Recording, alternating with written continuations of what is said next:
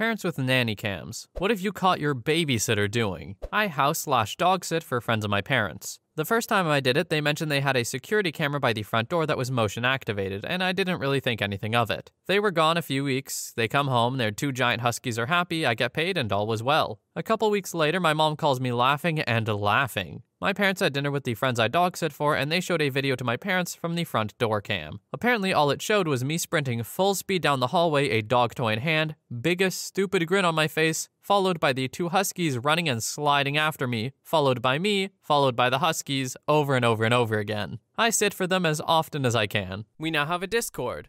Check out the server in the link in the description. Story 2. Watched her outside playing with my dogs. She was dog sitting. Our yellow Labrador and Golden Retriever puppy started munching the blueberries right off of our blueberry bushes. They know damn well they're not supposed to get into the blueberry patch. We watched our dog sitter run over to them and try to get them to stop. She then ran inside and ran back out with a bowl. She proceeded to race the dogs for the blueberries. Had to be one of the highlights of our trips. We came home to a bowl of blueberries in the fridge and two very guilty pups. I was so confused at first. Thought absolutely that OP meant that the dog sitter was just trying to eat the blueberries faster than the No, no, no, they were saving the blueberries. It's good to know. Story 3. My story isn't that interesting, but I have a camera to check in on my rabbit when I'm not there. The biggest surprise was mostly just how almost nobody followed my pet sitting instructions. The one exception, ironically, was my brother, who claimed to hate the rabbit and always wanted to get rid of it. I got an alert one day that my camera had detected movement while my bro was there taking care of him, and I decided to take a peek. I opened the app connected to the camera and saw my bro walk into the room, lay on the floor, and start playing with my rabbit. It just warmed my heart. Story 4. We have cameras outside of our house. One day, my neighbor told me that he saw my bunnies roaming the street a few times.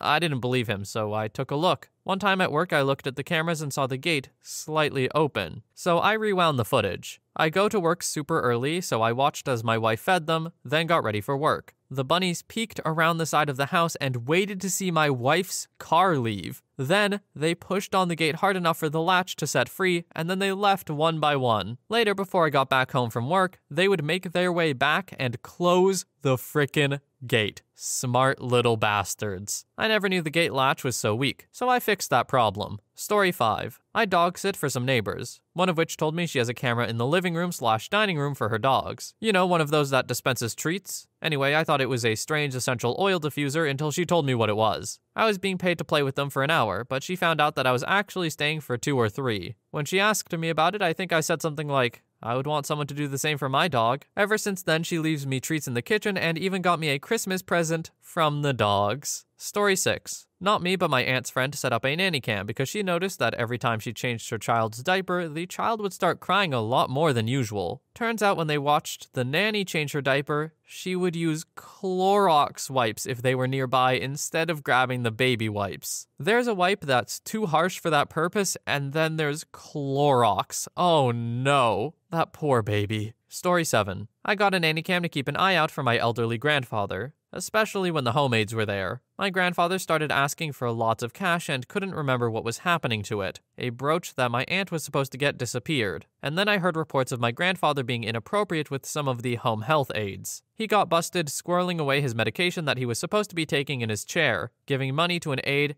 and harassing another.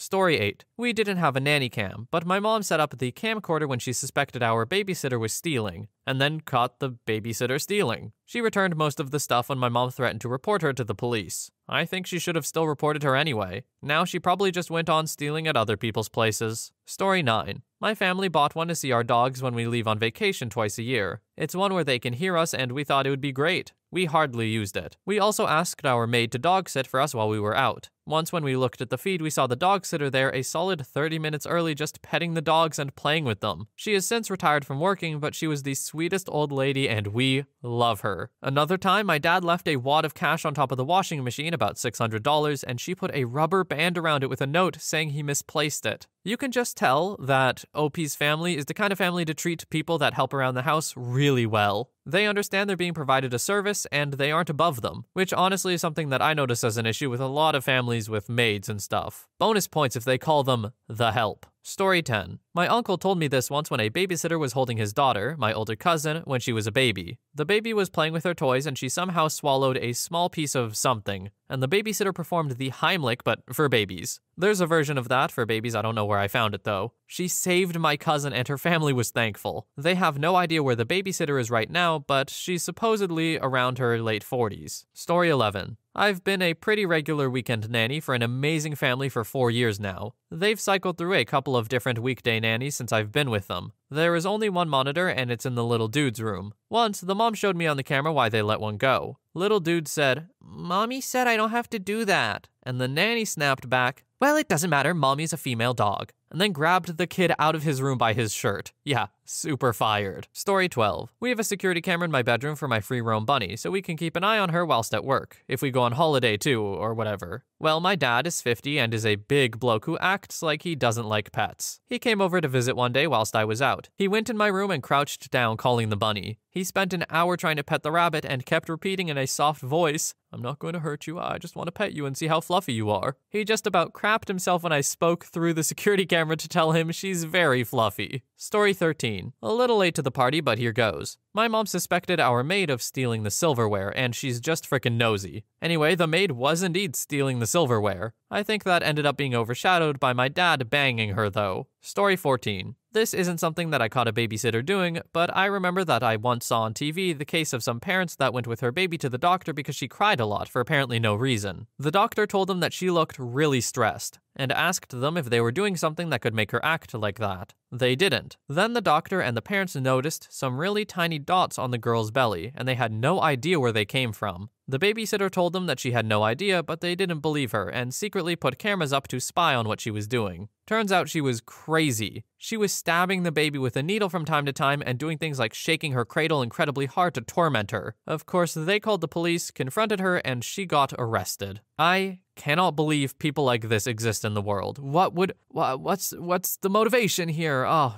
uh, OP, I'm so sorry for your child and child, I am so sorry. You are to have trauma and you're not to know why. Story 15. I was the one caught on camera a few times. 1. A family who had bunnies caught me on camera booping noses to the beat of the song I was singing. 2. A different family saw me get frickin' tackled by their 95 pound Mastiff puppy, and they immediately called me to make sure I didn't have a concussion since I just kinda laid there for a while. I was fine, I just got the wind knocked out of me. 3. Yet another different family saw me reading a book to their kids and later complimented all the voices I made. I had no idea they could hear audio, and I got so embarrassed since I really did go all out.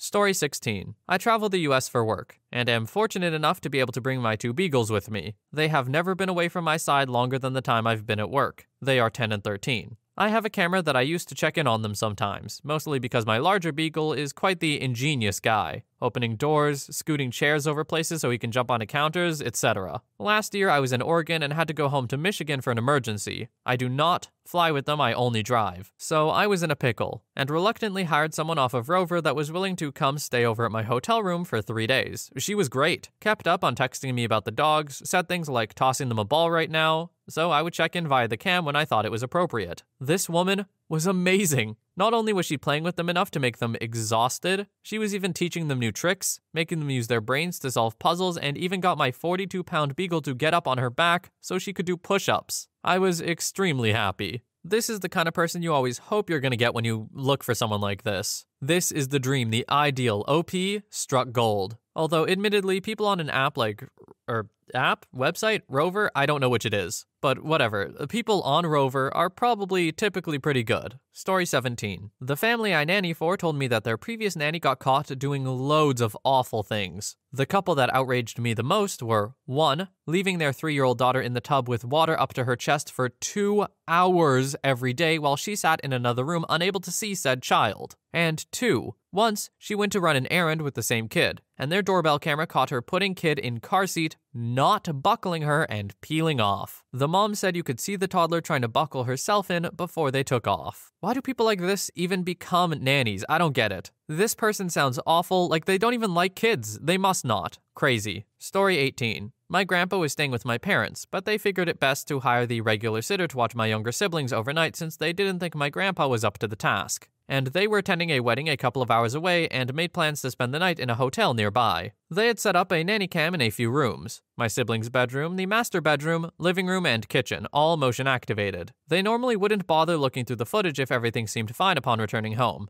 and their master bedroom cam had never been triggered before. When they returned, they noticed that the cam in the master bedroom had been triggered, so they decided to take a look. Cut to footage of my grandpa and the sitter both naked, aggressively making out from the entrance of the room, staggering while intertwined towards the bed, and then about 20 minutes of banging on my parents' bed. The sitter was about 20 years old and my grandpa was about 70. My dad called me immediately after he saw the footage, laughing his butt off. And I could hear my mom crying in the background, completely mortified from what she had just witnessed, and shouting at my dad to throw out the sheets and kick out grandpa. My mom called the sitter to confront her and she just apologized and said that there was a connection or something. When she asked my grandpa what he was thinking, he just said, At my age, you must seize every opportunity. I wish there was audio for the build up. I lay awake at night sometimes just wondering what kind of game my grandpa was talking to get into that sitter's pants. That's honestly kind of impressive, but I think OP left out some important information.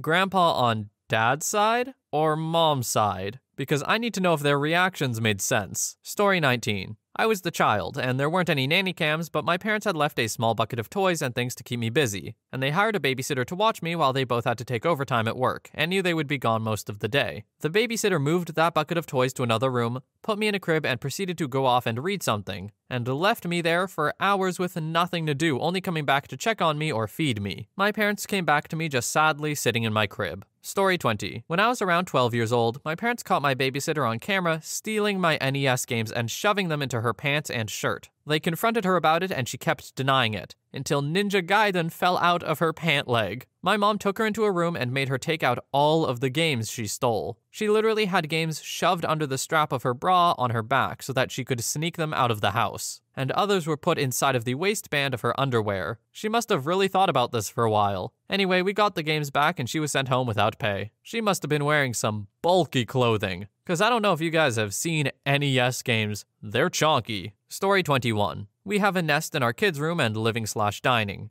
You can see partially into the kitchen from the living room cam, but not much. About the second week into using a new sitter, we catch her talking tons of crap about my wife and how she coddles our 18 month old son. Bragged about how she was going to quit at the end of the day because she hates working for us and doesn't like our son. While she's in the kitchen, she puts him in his high chair and turns on an iPad for him to watch Elmo. No screen time allowed. He asks to get down and go play after a few minutes, and she says no. He starts to cry, and she basically yells at him, Oh my god, are you serious right now? You are so damn needy. So he cries harder. About 10 minutes later, she takes him back to his room where he calms down. I get home a few minutes later and sent her on the way. Oh, you're home early. Uh, we had a rough morning, but we're feeling better now. Me. Yeah, hey, you know that camera in the living room is on all the time and I can hear everything you say and do in the kitchen, right? She kinda stuttered and I told her to get the hell out. Then me and my kid hung out all day and had a blast. The thing that got me was being mean to my son. Like, he's not even two yet. Story 22. I have cameras all over the inside and outside of my house. It started with a ring doorbell. Next came critter cams I put near my bird feeders, and then cameras everywhere. I used them mostly to look for the wild bunnies in my yard and to see the owl leave its roost at night. The indoor cameras are dog cameras. My wife and I use them to view and talk to our dogs while at work. The weirdest thing I've caught my dog doing, I had made a batch of jerky and put it in a large Ziploc bag, and I placed it in the dining room table in preparation for a camping trip. My 19 pound Shih Tzu, which is large for a zoo, was caught on video moving a dining room chair, jumping onto it, then jumping onto the table. He ate the entire bag of jerky, leaving only the bag. He did this in less than 10 minutes. Story 23. Not a nanny cam, but a vid. My sister in law sat the camera down thinking she had turned it off. I have over an hour of her teasing my toddler in a mean way with candy and popsicles. She started telling him that he would get some and then held it just out of reach. She then ate it in front of him, making mmm, mmm sounds. She was also calling him mean and weird names like Turd Muncher. The camera got all the audio but only some video. At the end of the video is when we got home. When I confronted her with the video, she started claiming I doctored it. I was a liar, a butthead, and hated her because she was prettier than my wife. She is not, by the way. That was the last time she was allowed around either of our kids unsupervised. She was the sister in law for 10 ish years and is now the crazy Karen ex sister in law. I can't have a presence on social media because she attacks me all the time. I am also estranged from my brother because of her. Ten years of her warped his perception of our family. He still believes some of the whacked out things she accused our dad, sister, other brother, and various other family members of. No reasoning has convinced him of the truth, not even the thought that if the video evidence refutes some of the claims, then all can be considered suspect. I may get comments and advice of what I could do, but in the end, you can't fight crazy. And sometimes life is just not fair. The only thing I've done to make things better is ignore her. She eventually just starts attacking someone else, like an annoying yipping dog that just needs someone to annoy. As for my brother, I hope time will fix things. I also think that he might just be more like her than I think. Birds of a feather and all. Story 24. Not my kids, but my sister's. This was when my nephew was still very young, and my sister was still breastfeeding. Long story short, my sister caught the babysitter drinking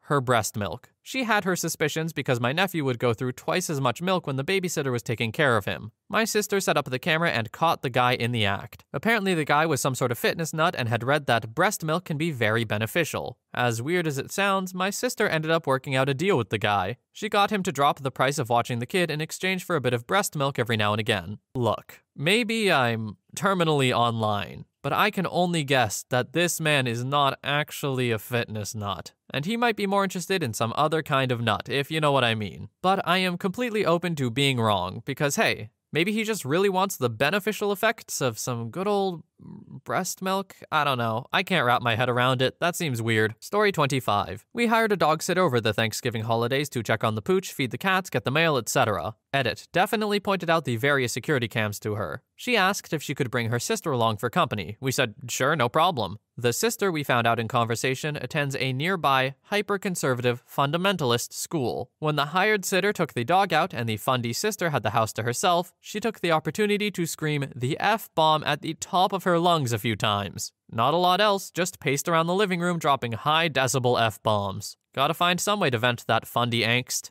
Story 26. Once, I, at the very last moment when no other babysitter was available, hired one that was sort of notorious for not being good. Not dangerous or anything like leaving the child unattended, but just the type where she would not console the child if they were crying, punish them for doing small things, that kind of thing. While away, I was very suspicious, so I continuously was glancing at the baby cam. The babysitter was playing with him, singing songs, and completely engaging him well beyond the way you would expect someone who was considered a bad babysitter to act. Essentially, what happened was the babysitter got hired by a crazy parent who didn't like her at all, so they just spread a bunch of mumbo jumbo about her through the neighborhood. When I came home, I gave her a very large tip, and she was the one I always hired whenever I needed a babysitter. Story 27. I'm glad I stopped babysitting before cameras became a thing. A couple I sat for had adorable kids, but the dad had one room in the house devoted to a full model railroad setup. Dozens of trains, bridges, teeny villages, the works. After they went to bed and during that long, boring stretch before the parents came home, I would play with the train set. Only regret is that I couldn't toot the horns because the kids would have busted me.